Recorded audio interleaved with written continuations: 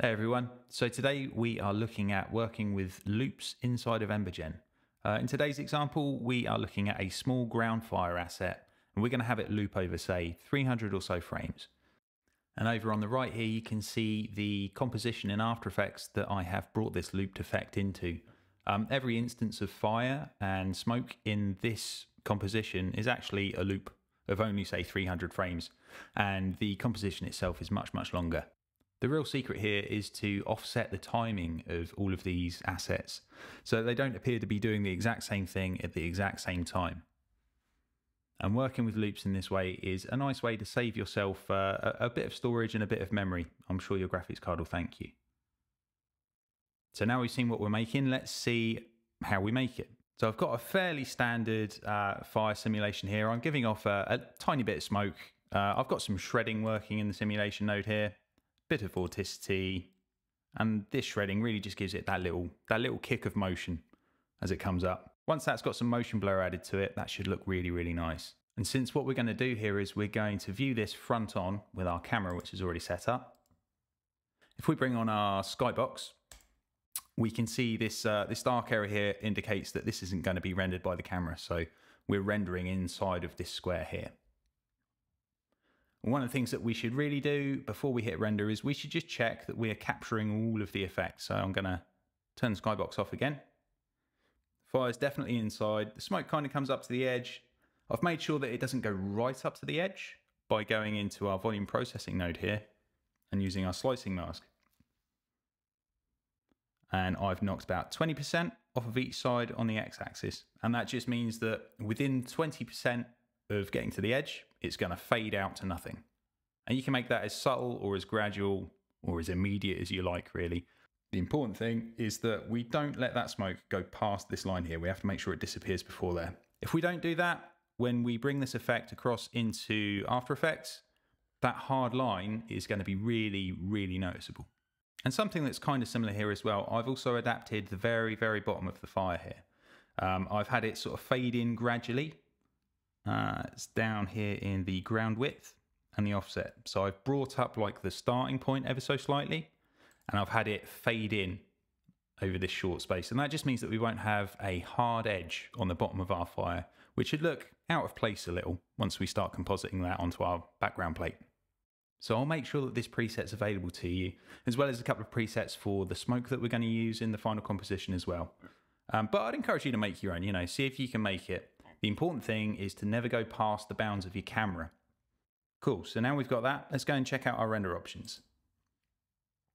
I'm going to make sure that we're rendering out a sequence because we're working with uh, film here rather than games. So think of this as game mode and film mode. Uh, our image size, I'm going to render out at 2048 by 2048. We don't need these things to be super high definition, but we don't want them to look like garbage either. You know, some of these the camera might get fairly close to, we don't really know yet because we haven't put them into the scene.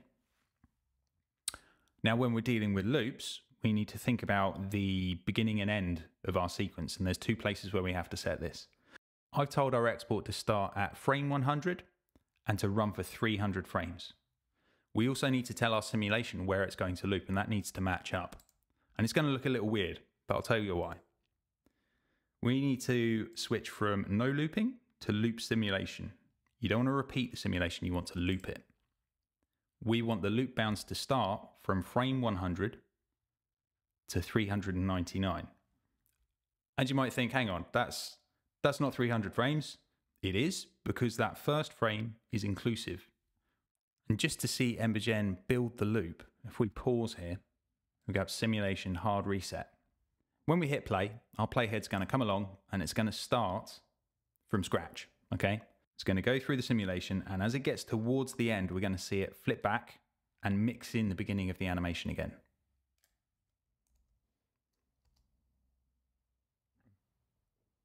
See how it slows down ever so slightly? I think Embergen is caching what's going on. And when we get to the end,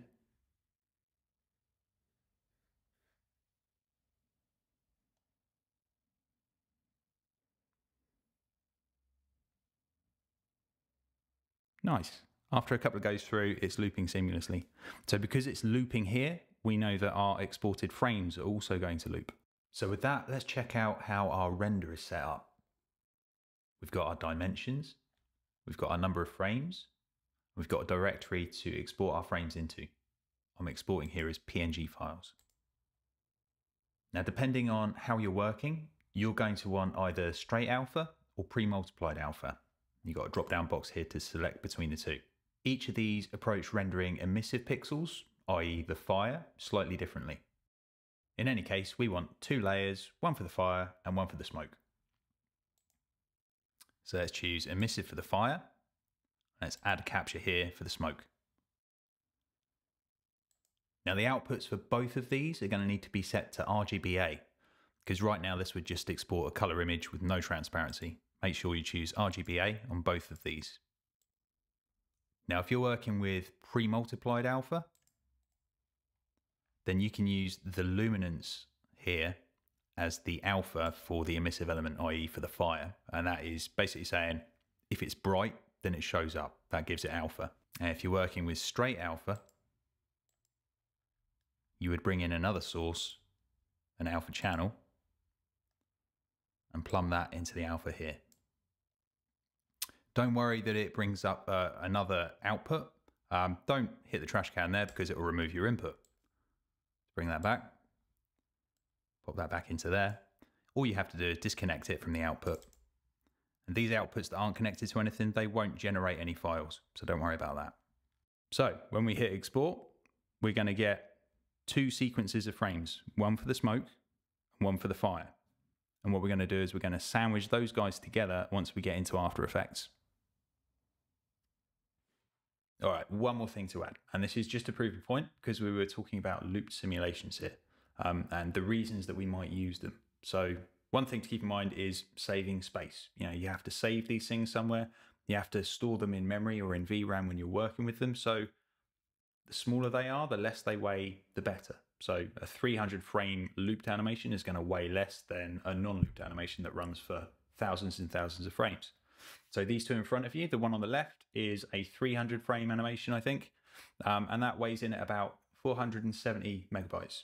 Uh, the one on the right isn't looped at all; it just runs for thousands of frames. I think it comes in at about it's over five gigs in size. Um, and if you were to watch them side by side, you'd have to watch for ages quite closely. I mean, they're they're not particularly high quality effects. These ones. This was just to test the theory, um, but you'd have to look for ages to figure out where they actually loop.